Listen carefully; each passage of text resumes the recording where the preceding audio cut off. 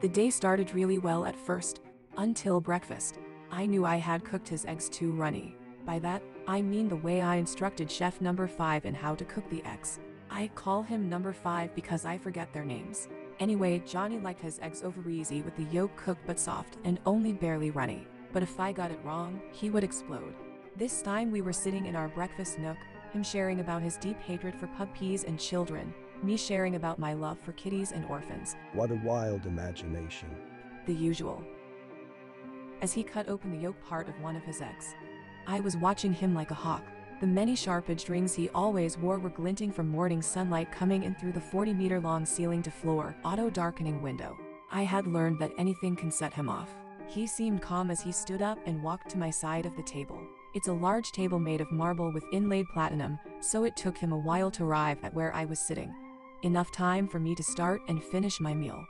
Yes, a long table.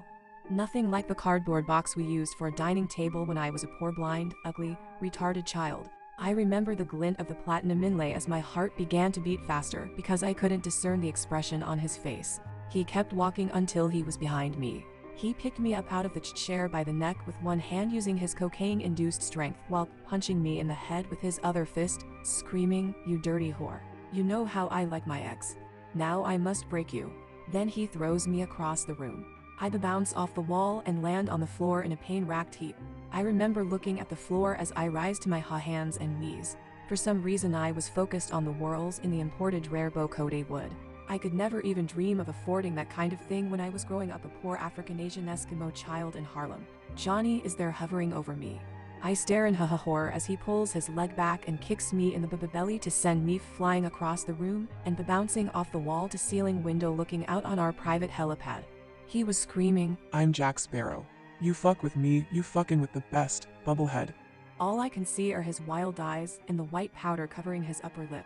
I feel a dribble of warm liquid coursing down my face. Later I discover it is blood. I can hear the stereo playing, Eye of the Tiger, which somehow gives me the strength to get up. There's a wine bottle next to me. It's that type Johnny and I often enjoy together. I have fond memories of those times sitting by the fire on the beach in Jamaica or Majorca or Johnny's Island. In a daze, I pick up the bottle, not even sure what I'll do with it. For some reason I notice the wall has brown handwritten letters in dried blood, scrawled on it. I recognized Johnny's handwriting. Johnny had written, all work and no play makes Johnny a dull boy. He's howling now as he stalks toward me, teeth bared, a look on his face as if he is hungry like a wolf. I plead, Johnny please, no. I love you. What we have here is, is just a failure to communicate. With his cold dead eyes he looks at me and says, Frankly my dear, I don't give a damn. Must. Not. Laugh. I'm afraid for my life so I smash the wine bottle on the ground between us. I cream, please stay away. Wine and glass shards go everywhere in slow motion, like in that gladiators and orgies show, Spartacus where those big sweaty masculine manly men thrust swords at each other repetitively. Johnny's still walking toward me with that chilling toothy grin. I put my hands up and cry out, Johnny please. We have the stuff that dreams are made of, and who knows what dreams may come. He goes calm suddenly and I'm flooded with relief as I think maybe I got through to him. Sadly, the mood was brief. It's like the booze and coke-filled monster personality is rising again. He then said, darling, I'm not gonna hurt you. I'm just gonna bash your brains in. I run upstairs and barricade myself in servant number three's bathroom.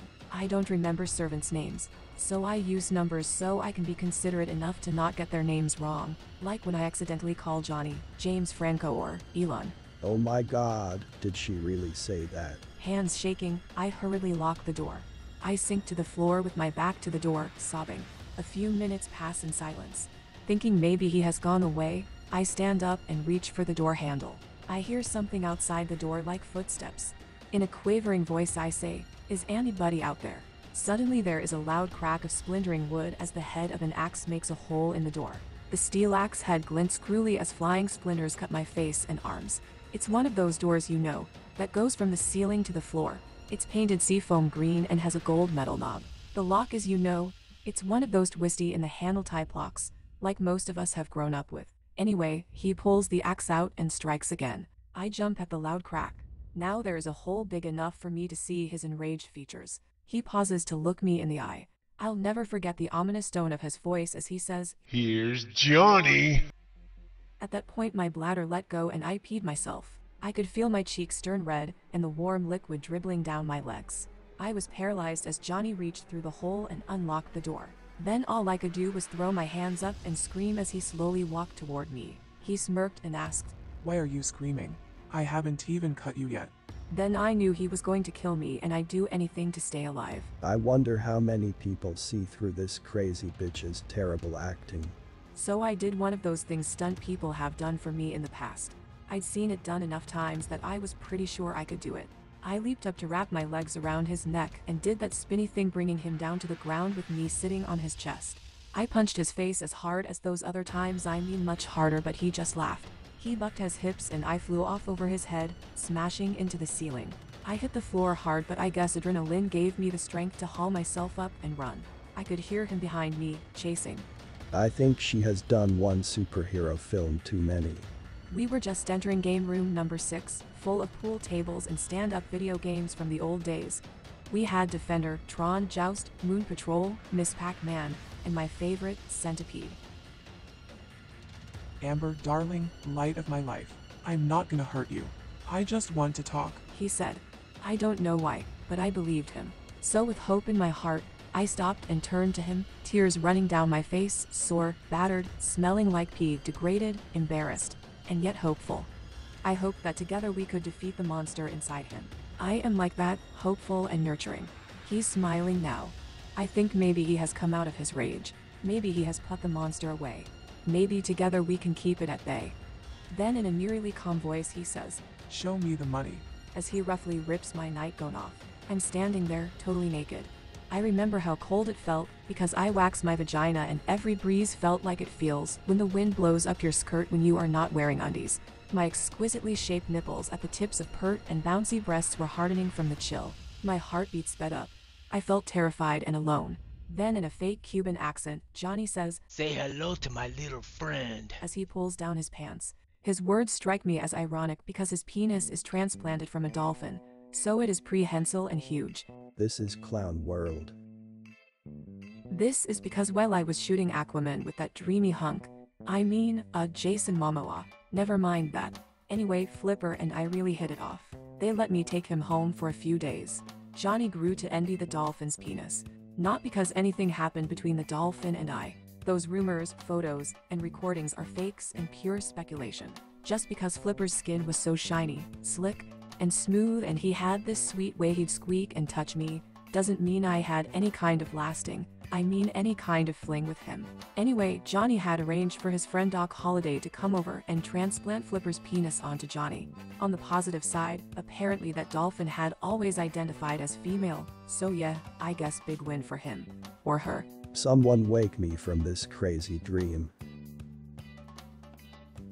Oh, and prehensile means it can bend all over the place as he wishes, somewhat like, but far better than, a high dollar dildo. You'd think that might be a lot of fun for a girl, but Johnny didn't use it like Flip.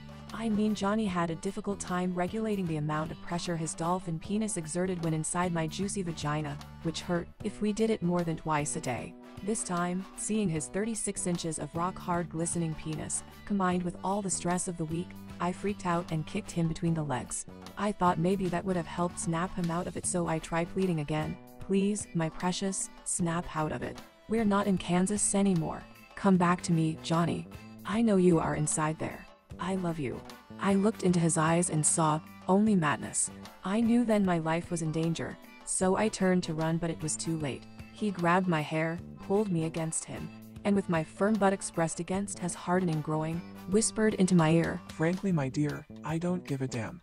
Then he picked me up by the hair with one hand and carried me to the nearby pool table where he thrust me down onto the table like the manly masculine macho Chad he never is.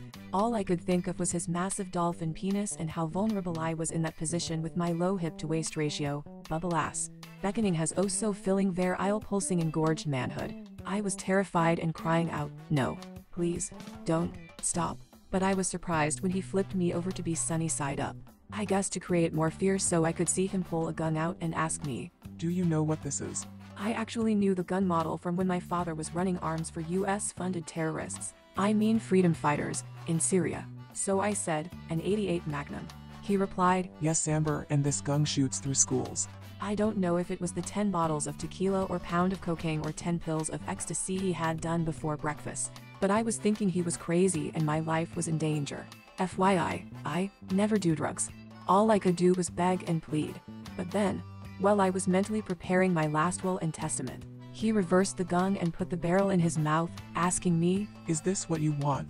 Then you can be with James Franco, Judy, Janice, Jason Momoa, Elaine, Elon, helicopter pilot number 3, Learjet pilot number 2, bidet operator number 4, and Flipper. Maybe you can have them all at once or take turns, or have them pick a number between 1 and 9. I knew in that moment, in my heart of hearts, when contemplating his death, that I loved this man and wanted to save him. I felt that I could save him and we could repair the relationship. So I tried a desperate gambit and said, Johnny, you can't respect yourself if you're afraid to be who you are. Be the change you want to see in the world.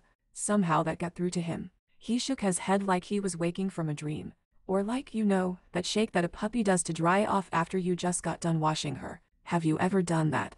I used to sit in the moonlight and wash my puppy while singing songs of joy and peace. Then, a miracle happened. I saw the glassy look leave Johnny's eyes, and a deep shame replaced it. He crumpled to the floor and started crying, his 36 inch penis now flaccid, snake like, and motionless, curled up beside him. I dropped to the floor and held him, rocking him while stroking his hair.